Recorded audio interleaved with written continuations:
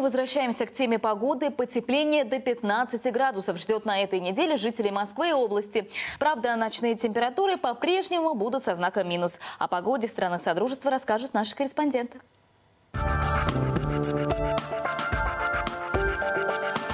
Ветрено сегодня в Беларуси. Порывы в некоторых районах достигают 20 метров в секунду. Днем столбики термометров поднимутся до 13 градусов тепла. Запоздалая весна поставила агрария в сложное положение. Посевную нужно провести в короткие сроки за 10-12 дней. Планируется засеять почти 2,5 миллиона гектаров яровых культур. Для этого будут задействованы 37 тысяч трактористов и механизаторов.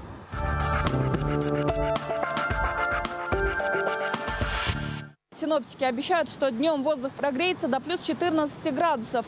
Продолжительные осадки позволили любителям лыж и сноуборда повторно закрыть зимний сезон. В ближайших от столицы горах снега так много, что на выходных горнолыжные базы вновь открылись и пригласили всех желающих на повторное закрытие сезона.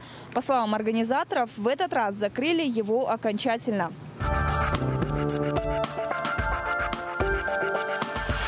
Жители Алматинской области ждут настоящей весенней погоды. Пока, по данным синоптиков, контраст между самым холодным и теплым местом региона составляет около 15 градусов.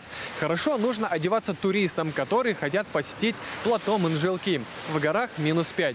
Комфортнее всего в местечке Баканас. 10 градусов тепла.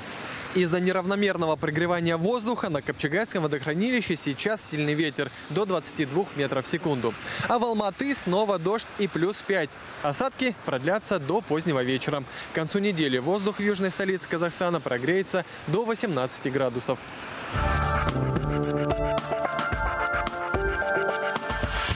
В Душанбе тепло и солнечно, воздух днем прогреется до плюс 18. Ясная погода в республике продержится до середины недели, что радует футбольных болельщиков. В стране накануне стартовал чемпионат Таджикистана по футболу. Теперь матчи проходят со зрителями на трибунах. Их поддержка помогла спортсменам Худжанда на своем поле одержать победу над столичным клубом Душанбе.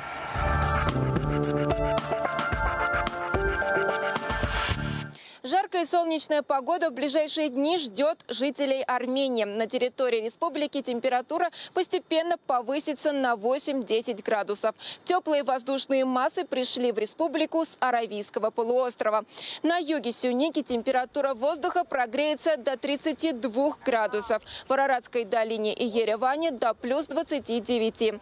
Здесь сейчас активно цветут абрикосовые деревья. Полюбоваться этой красотой можно до конца апреля.